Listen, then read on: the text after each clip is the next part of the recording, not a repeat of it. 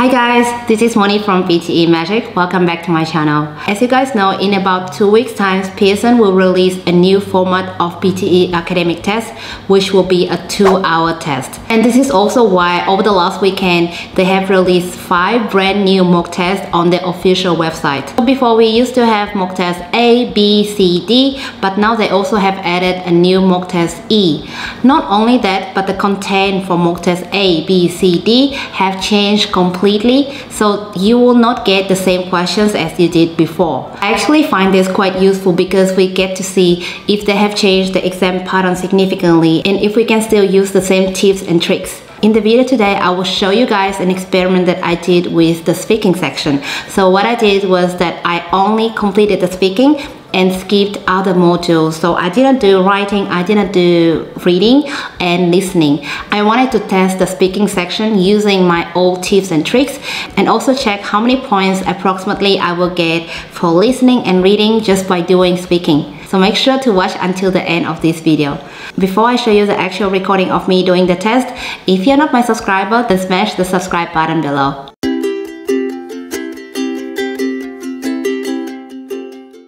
I'm actually using the same headset as the one that they use in the PTE exam room. If you're interested, you can also check out my other video. Okay, let's start with mock test A.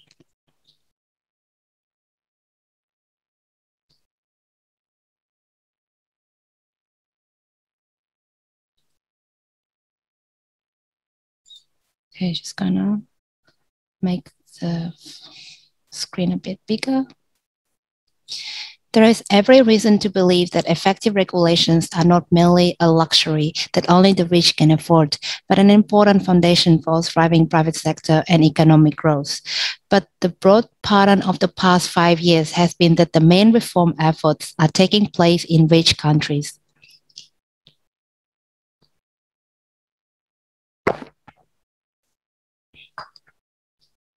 There is every reason to, sorry, I'm just drinking water because of my throat.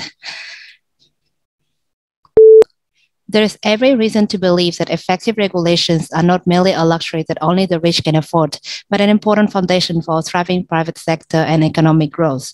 But the broad pattern of the past five years has been that the main reform efforts are taking place in rich countries. The survey found that the statistical chances of someone from a poor background being accepted at one of the country's most respected universities are far lower than those of a student from a wealthy family. This means that the inequalities in society are likely to be passed down from one generation to the next. The survey found that the statistical chances of someone from a poor background being accepted at one of the country's most respected universities are far lower than those of a student from a wealthy family. This means that the inequalities in society are likely to be passed down from one generation to the next. The survey found that the statistical chances of someone from a poor background being accepted at one of the country's most respected universities are far lower than those of a student from a wealthy family. This means that the inequalities in society are likely to be passed down from one generation to the next. Every morning, no matter how late he had been up, my father rose at 5.30, went to his study, wrote for a couple of hours, made us all breakfast, read, read the paper, read, yeah, because this is the verb in the in past participle, past tense. Uh, yeah, past simple, sorry. The paper with my mother and then went back to work for the rest of the morning. Many years passed before I realized that he did this for a living. Yeah, so again, this one is not read, yeah, it's read. Every morning, no matter how late he had been up, my father rose at 5.30, went to his study, wrote for a couple of hours, made us all breakfast, read the paper with my mother, and then went back to work for the rest of the morning. Many years passed before I realized that he did this for a living.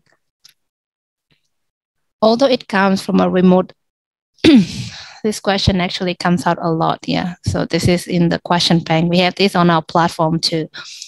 Although it comes from a remote region in the Himalayas, this plant now looks entirely at home on the banks of English rivers. Brought to the UK in 1839, it quickly escaped, colonizing riverbanks and damp woodlands. Now it is spreading across Europe, New Zealand, and Canada. In the Himalayas, the plant is held in check by various pests and it grows and reproduces unhindered. Okay. Although it comes from a remote region in the Himalayas, this plant now looks entirely at home on the banks of English rivers. Brought to the UK in 1839, it quickly escaped, colonizing riverbanks and dam woodlands. Now it is spreading across Europe, New Zealand, and Canada. In the Himalayas, the plant is held in check by various pests, and it grows and reproduces unhindered. Okay, it wasn't perfect, but okay we just maintain the fluency. Okay. Um, while yellow is considered an optimistic color, people lose their tempers more often in yellow rooms and babies will cry more. It is the most difficult color for the eye to take in, so it can be overpowering if overused. So normally I just like, even when I practice, I just use my body language, my hand gestures to keep the fluency. While yellow is considered an optimistic color, people lose their tempers more often in yellow rooms and babies will cry more. It is the most difficult color for the eye to take in, so it can be overpowering if overused. Uh, Orientalists, like many other early 19th century thinkers, conceive of humanity either in large collective terms or in abstract generalities. Orientalists are neither interested in nor capable of discussing individuals. Instead, artificial entities predominate. They herd beneath every white labels, every possible variety of human plurality, reducing it in the process to collective abstractions. Okay, so many three to four syllable words. So you have to be very careful. So Orientalist predominate abstractions. Orientalists, like many other early 19th century thinkers, conceive of humanity either in large collective terms or in abstract generalities. Orientalists are neither interested in nor capable of discussing individuals. Instead, artificial entities predominate. They herd beneath very wide labels every possible variety of human plurality, reducing it in the process to collective abstractions. Okay, fluency. I remember the timing. So we're still using the same method. So make sure that you can speak uh, around three words per second. Children as young as 14 months old will spontaneously help others for no reward. But a study of three to five years old found that although they will spontaneously draw pictures, if they were given a reward for drawing pictures, then later they will not make any drawings unless a reward was offered. Children as young as 14 months. Sorry about the noise from outside. Children as young as 14 months old will spontaneously help others for no reward. But a study of three to five years old found that although they would spontaneously draw pictures, if they were given a reward for drawing pictures, then later they will not make any drawings unless a reward also was offered. Okay, repeat sentence students are not allowed to take journals out of the library. Students are not allowed to take journals out of the library. There are many people in the USA who are critical of their voting system. There are many people in the USA who are critical of the voting system. Results will be available in the main quad and online. Results will be available in the main quad and online. His academic supervisor called in to see him last night. His academic supervisor called in to see him last night. The head of department isn't available till Thursday. The head of the department is not available till Thursday.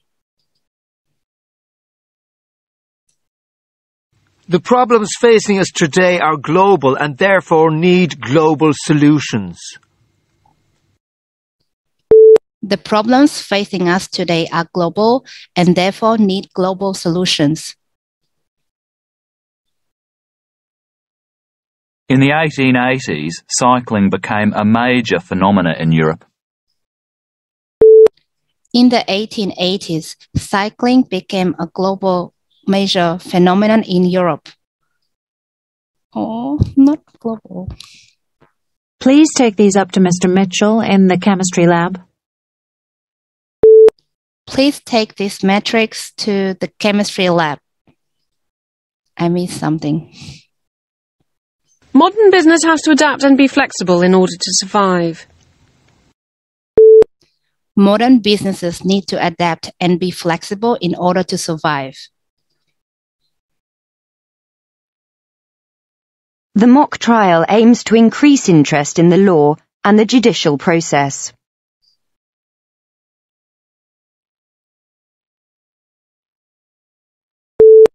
The mock trials aim to increase the interest in law and judicial process. The qualities needed by a successful business manager are similar to those needed in sport. The quality needed in the successful business managers are similar to those needed in sport. Evidence for clear correlations of brain events and behavioural events are always fascinating. Evidence for clear correlation between the brain events and behavioral events are always fascinating. That was hard. Okay. Okay. Describe image.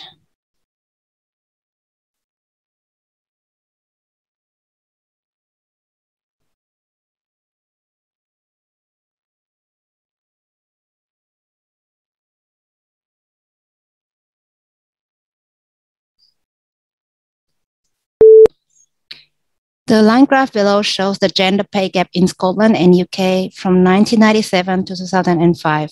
As can be seen from the graph, there was a downward trend because it started at around 15% for the UK pay gap percentage in 1997, as well as around 18% for Scotland pay gap.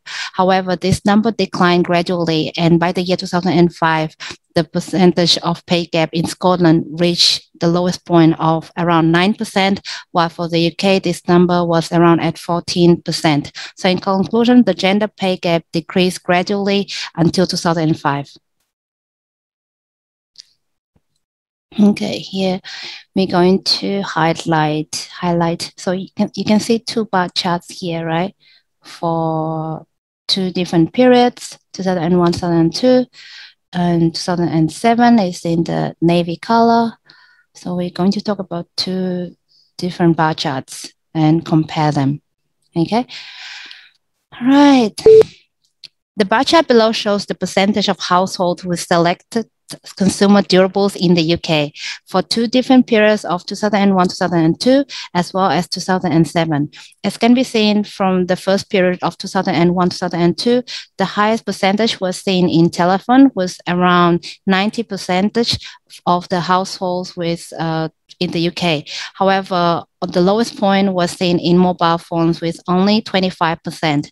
For the period of 2007, the numbers of mobile phones increased dramatically, even though it's still the lowest point. However, this number reached 80%. Meanwhile, the highest point is still in telephone with around 90% for the household. Oh, it's already finished. Okay. it's okay. Uh, it's okay if computer cuts you, but don't do it too often, okay?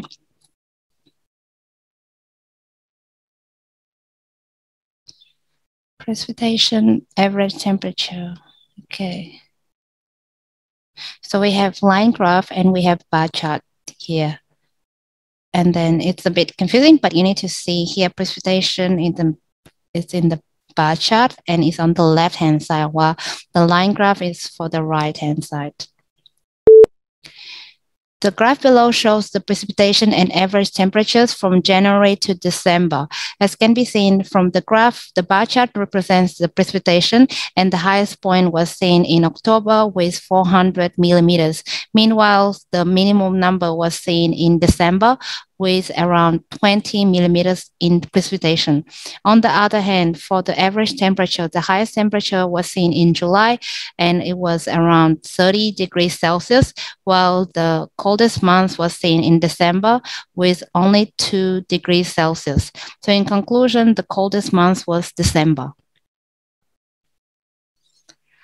Okay, it was a quick conclusion, but it's okay. Don't worry too much about you know making sense and you know being too sophisticated with your content. Okay, amount of food wasted per year in UK in megatons thrown away. Mm-hmm.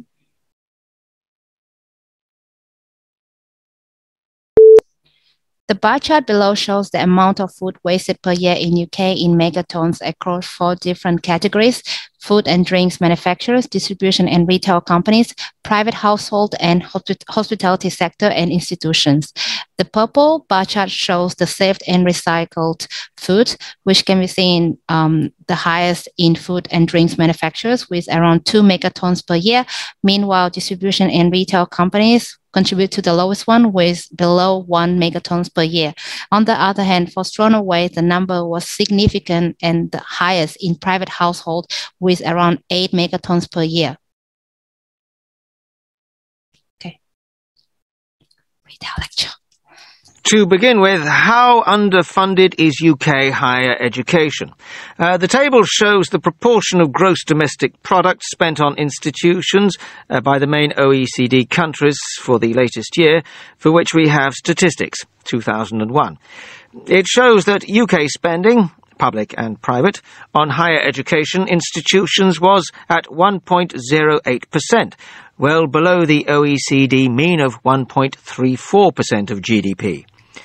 The table clearly shows that the UK is in the bottom five countries of the 20 in the table in terms of public expenditure on tertiary education, its spending being proportionately equal to that of Italy and Mexico. At the other end of the table, we see that Denmark and Finland allocate most public money to tertiary education, spending twice as high a proportion of GDP on it as does the UK.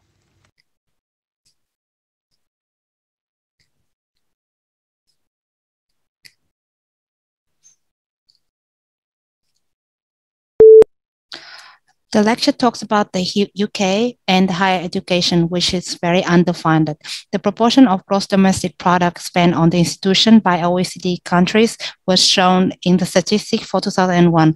He also talks about the UK spending in public and private on higher education, which was at 1.08%, which is below the OECD percentage of 1.34% of the GDP. So the UK bottom was the bottom of the five countries of 20 on the public expenditure.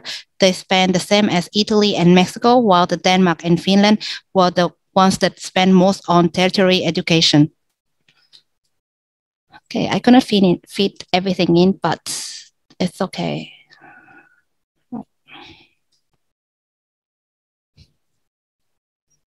What is used to turn off an electric light? The light switch, light switch. What instrument allows you to see distant objects in space? Telescope. Telescope. What word is used to describe getting a higher position within the same company? Promotion. What is the name of the land area containing a college or university? Campus. Campus. How many years are there in a century? 100. 100. Okay, so we're going to skip everything else and to check our speaking score, okay?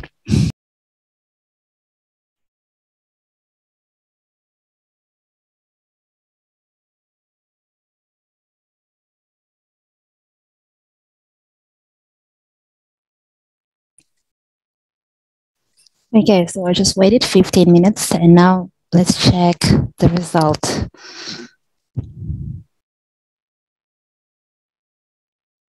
Okay. Yep, so we got 90 here for speaking. Um, and because I didn't do any other sections, so obviously for writing, the minimum was 10 because we didn't do anything in writing. Uh, but we got 35 points in listening and 33 points in reading just by doing speaking.